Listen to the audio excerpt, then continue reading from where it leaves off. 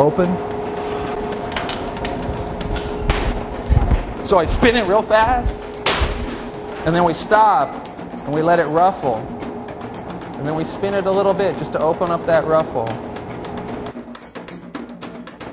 I discovered a long time ago that if you leave, leave the lid off of a can of house paint and stir it up every few days, it becomes very thick, just like expensive paint. And I looked on the label, it said acrylic. And that's exactly what they were selling at the store. Um, my aunt lived across the lake from New Orleans, where I spent a good bit of time growing up, and Aunt May. And she um, took me out into her garden and said, Do you believe in fairies? Yes. And she said, Well, if you believe in fairies, you can, there are fairies in my garden.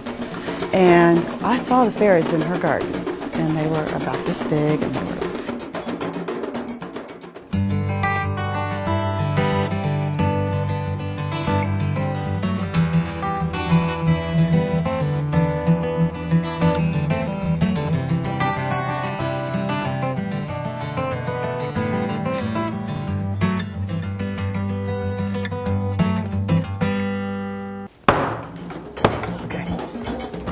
Hi, I'm Fong.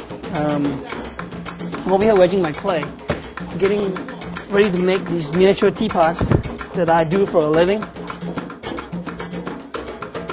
The thing that is very unique about me and my business is that I'm legally blind. Um, different kind of things, just something completely different. Just trying to scratch my nose, that didn't work.